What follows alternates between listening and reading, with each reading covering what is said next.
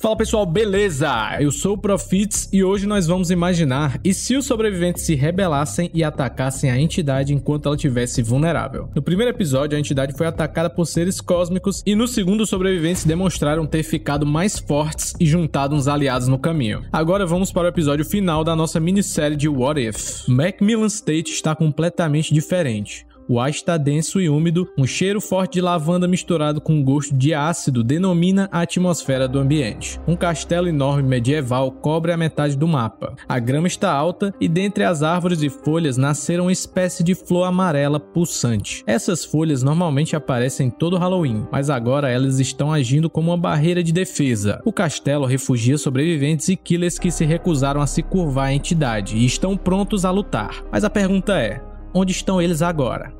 Não há mais sinal de vida no castelo, que há pouco tempo atrás devia estar povoado. Um intruso com uma faca está vagando pelo castelo. Não se sabe como ele conseguiu entrar nesse reino que era para estar fechado e protegido, mas ele estava lá. Ele observa uma maquinaria altamente avançada e uma espécie de portal. Que tipo de tecnologia nós estamos lidando aqui? Como esses sobreviventes avançaram tanto? Aliás, como eles fizeram o castelo novamente tão rápido. A figura encapuzada lê um pouco os registros e descobre que eles conseguiram botar as mãos numa ferramenta que consegue manipular o tempo. Aparentemente, o tempo no reino da entidade não funciona da mesma forma que nós conhecemos. Aparentemente, estamos parados numa data de novembro de 1896. Porém, outros planetas e universos dentro do reino da entidade estão em épocas diferentes, e a entidade consegue acessá-los independente da época que eles se encontram, utilizando alguma força ou ferramenta cósmica. Então, os sobreviventes tiveram acesso a esse tipo de ferramenta. A figura encapuzada sorri. Ele pensa em utilizar isso para conseguir uma arma altamente poderosa. Nós não sabemos a intenção dele ainda, mas ele acabou de ficar extremamente perigoso. Ele lê os planos dos rebeldes e está indo na direção deles pela retaguarda. O grupo dos rebeldes está bem misto. Entre os sobreviventes encontram-se agora alguns killers. A Huntress, a Suzy e o Trapper estão entre eles.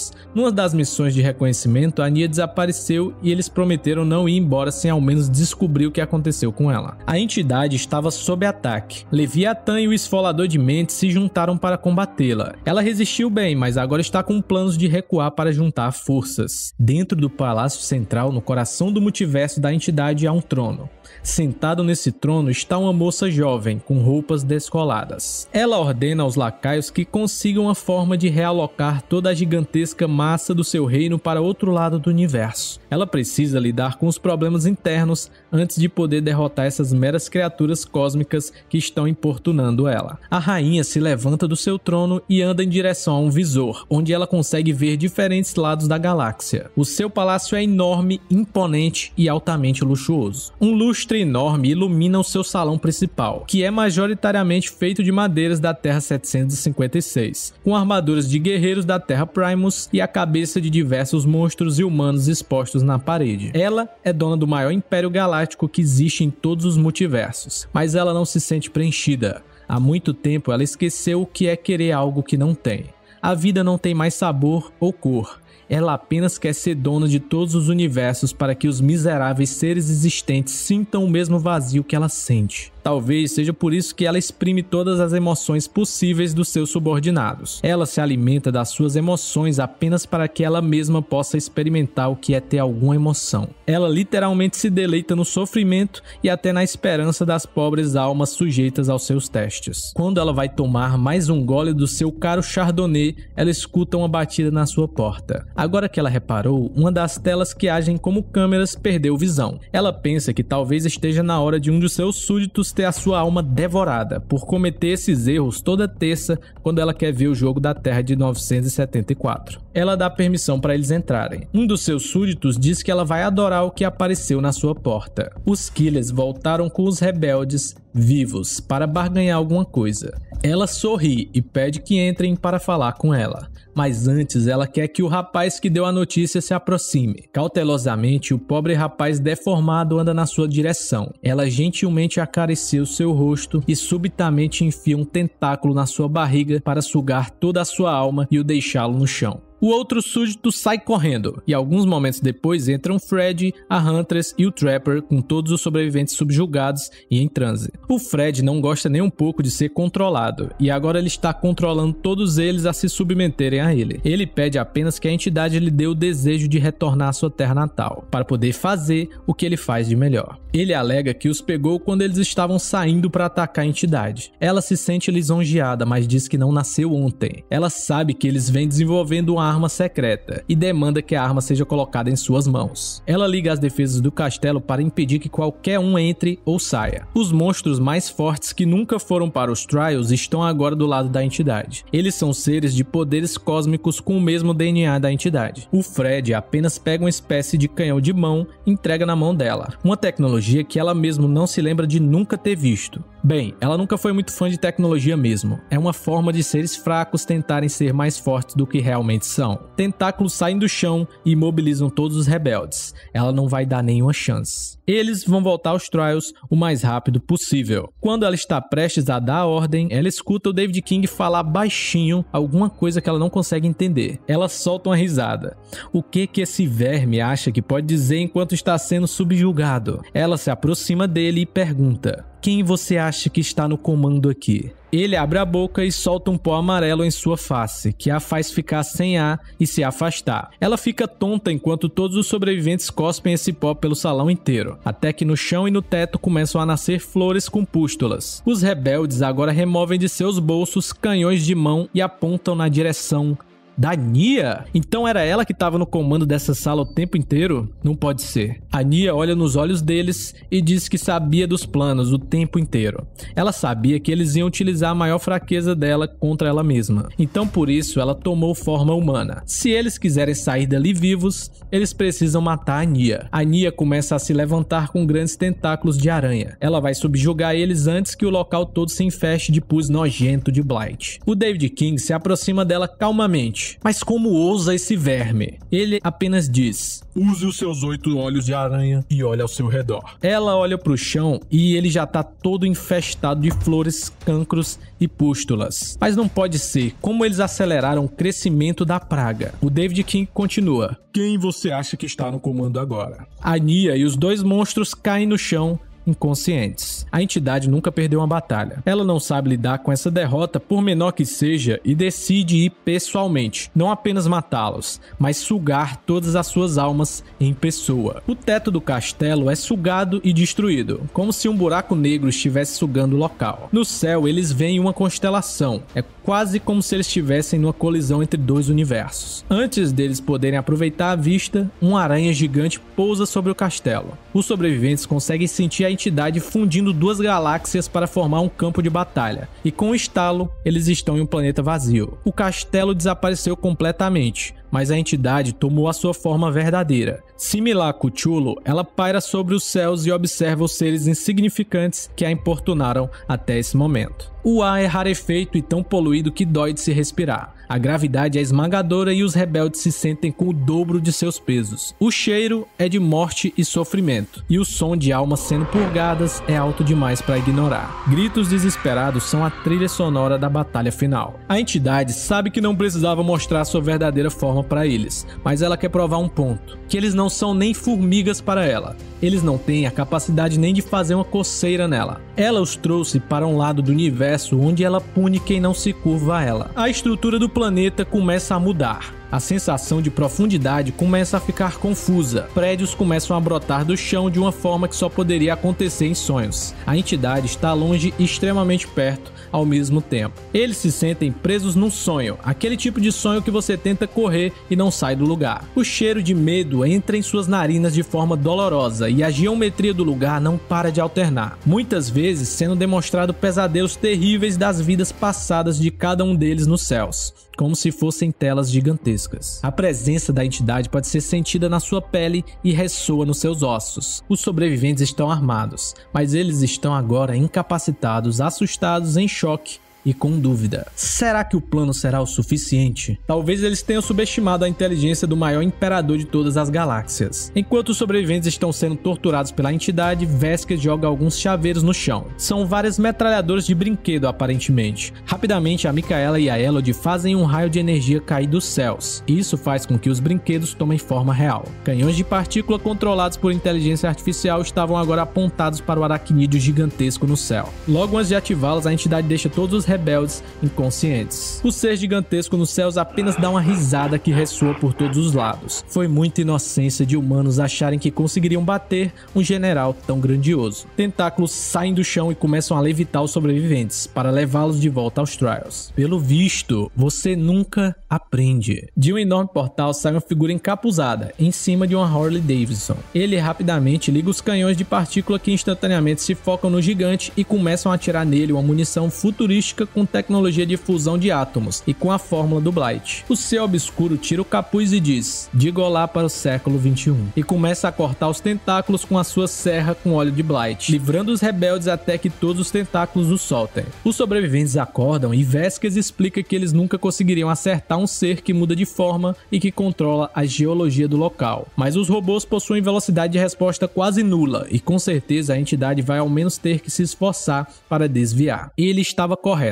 A entidade agora está loucamente mudando a geometria do lugar e também está mudando até a sua movimentação e a dimensão do lugar. Os robôs não são capazes de atingi-la, mas conseguiram comprar um bom tempo a eles. O Chris e o Felix pedem para que todos os rebeldes atirem com seus canhões de mão na entidade. Talvez eles tenham um acerto de sorte. A Micaela tem uma visão. Ela vê os rebeldes atirados sobre o chão, mortos e sem cor. As suas almas foram sugadas e jogadas no vazio. Ela avisa Vesques que algo que vai destruir todos está vindo. A Jane diz que tem um plano, porém é um plano suicida, pois eles vão precisar se utilizar de isca. O Vesques hesita, pois ele quer ver a luta até o final, mas ele sabe que é inútil em batalha. Ele sempre ficou atrás da mesa decifrando códigos e formulando estratégias. O Chris diz a ele que ele precisa confiar neles como eles confiaram nele até agora. O Vesques tem uma epifania. Ele não chegou tão longe apenas para subjugar a entidade com seu intelecto. Ele fez o que ele fez para salvar cada uma das almas que ficaram presas, da mesma forma que ele se sentia preso quando era criança, sem ação, com medo de reagir ao bullying. Hoje é o dia que ele faria o seu eu do passado orgulhoso. Nós não estamos apenas lutando para combater um demônio que nos aprisionou nesse inferno. Nós estamos lutando por cada suor, cada lágrima e gota de sangue das pessoas que sofreram em testes, por cada momento que nós perdemos com as nossas famílias por cada pessoa que foi utilizada como comida por essa criatura maligna. Nós lutaremos para destruir o maior mal desse universo, a dor que aflige o doente, o medo que acomete o covarde, a injustiça que acontece com o justo. Eu vou fazer a vocês um pedido injusto. Eu peço que vocês deem as suas vidas, pois uma vida sem liberdade não vale a pena de se viver. O vil ser dos céus percebeu que eles estão armados com armas de Blight invocou um exército de minions para batalhar contra os rebeldes. Os sobreviventes correm em formação e atravessam bravamente a horda de minions. Cada mulher, homem e monstro dentre os rebeldes lutou com todo o seu vigor. Os minions estavam em altos números, mas eles não eram páreos para a resiliência de Laurie, Jane, Elodie, Kate, Cheryl e Zarina mesmo os mais fracos, lutou com toda a sua garra. O Ash, ainda com a sua moto, escopeta numa mão e serra elétrica na outra, aumentou ainda mais a contagem do seu número de demônios mortos. O Trapper, a Huntress e o Fred massacraram os demônios com todo prazer, até que eles começam a escutar passos que fazem o planeta tremer. Pelo portal que Ash deixou aberto, entra um Nemesis na sua terceira forma e o Pyramid Head. Os sobreviventes derrotaram todos os demônios e acabam tomando refúgio embaixo da aranha titânica. A Micaela faz faz um domo de energia para proteger os rebeldes e a Elodie faz um selo ao redor da entidade que a impede de sair do lugar. Essa técnica é um selo que produz a essência do Blight. A entidade está presa com os rebeldes embaixo dela. Os canhões ainda não pararam de atirar e agora eles conseguem atingi-la. A aranha gigante sorri e diz que o plano deles é a coisa mais imbecil que ela já ouviu. Os canhões mal fazem cócegas a ela. Ela começa a atacar os sobreviventes com seus tentáculos e a Micaela mantém o escudo. Ela só precisa aguentar um pouco. Finalmente, o Nemesis começa a atacar os tentáculos da entidade, que apenas o acerta fortemente com seus tentáculos, fazendo ele absorver o impacto toda vez e acabar ficando mais forte ainda. O Pyramid Head apenas observa o ser gigante e joga sua espada nos céus, na direção da cabeça da aranha gigante. A entidade vê a espada vindo, mas o feitiço da Micaela a deixou imóvel, e isso fez com que a espada do Pyramid Head a atravessasse, liberando uma espécie de muco quente que se assemelha à lava. A entidade finalmente foi ferida. Ela muda de forma e assume uma forma mais humanoide. Ela prefere ficar um pouco menor, mas com uma melhor mobilidade. Uma luta épica entre a entidade e o Pyramid Head toma conta enquanto Nemesis parte na direção dos dois. O Vesquez pede para Micaela manter o escudo enquanto eles fogem. Eles precisam sair do círculo. O planeta todo começa a ser destruído, uma chuva de meteoros começa a cair, enquanto uma sensação de agonia assola todos os sobreviventes. É como se eles sofressem enquanto ela sofre. Brutalmente, o Pyramid Head empala a forma humanoide da aranha, que derruba um cubo brilhante e a chuva de meteoros para no lugar. A Feng Min aponta e diz que talvez seja isso, a ferramenta que o observador procurou por anos, o cubo do sofrimento. O Ash diz: atire primeiro e não pense nunca. Ele liga a sua moto e vai na direção do cubo. O Nemesis atinge a entidade com força e o planeta treme, fazendo o Ash cair da moto logo antes de pegar o cubo. A entidade percebe e os dois correm na direção do cubo, mas o Fred aparece subitamente e atinge a aranha por trás. Finalmente, a entidade cai inconsciente. O Pyramid Head desaparece e, confuso, o Ash pega o cubo e foge na direção do observador. O chão começa a se abrir e lava jorra por dentro das fendas. Os sobreviventes agora se sentem mais leves, quase como se uma maldição tivesse sido removida deles. O Ash rapidamente entrega a ferramenta ao observador e ele começa a estudar o cubo para tentar utilizá-lo. Porém, não há tempo. O chão treme, se abre novamente e a Feng Min cai no buraco. Enquanto isso, o Nemesis olha na direção deles e apenas diz: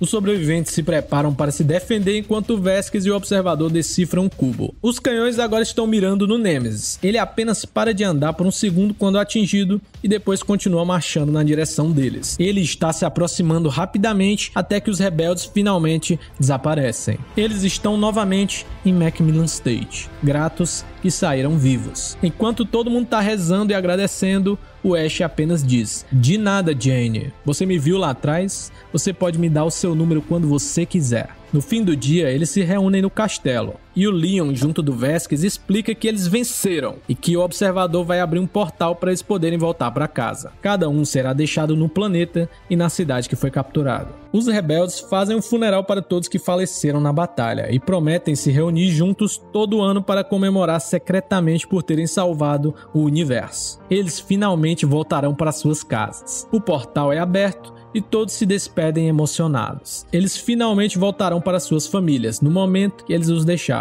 Vai ser como se eles nunca tivessem saído. Cada um dos sobreviventes abraçam seus amigos e familiares como se não os vissem numa eternidade. Alguns parentes acham estranho, mas apreciam um afeto extra. Um a um, todos os rebeldes vão para casa, até que o Vesques, que é o último aí, olha para trás e vê o observador, altamente intrigado com a caixa ainda. Os seus olhos brilham. Ele começou a chamar a caixa de o seu cubo precioso. Vesques pergunta a ele se ele não vai embora. Ele diz que precisa achar sua esposa ainda. Vesques acha a resposta altamente válida e entra no portal indo finalmente para casa. O observador não consegue tirar os olhos do cubo e decide checar o que aconteceu com a entidade. Ele voltou ao planeta que estava sendo destruído. O observador usou o cubo para consertar o planeta e achou o corpo da entidade. Ao se aproximar, o Fred reaparece e diz que fez o prometido. Agora ele quer voltar para casa. O observador não pensa duas vezes e envia ele de volta para Elm Street. Aparentemente, a entidade está no sono eterno, presa com Pyramid Head. Ela está sendo continuamente assassinada e sacrificada da mesma forma que os sobreviventes eram. Enquanto isso, o observador continuamente admira o cubo. Atrás dele, no horizonte, está uma outra aranha gigante, simplesmente o observando. E assim acaba o episódio final desse What If. Só não esqueçam de comer seus vegetais, beber sua água e nunca deixar de ser essa pessoa maravilhosa. Eu vejo vocês no próximo vídeo.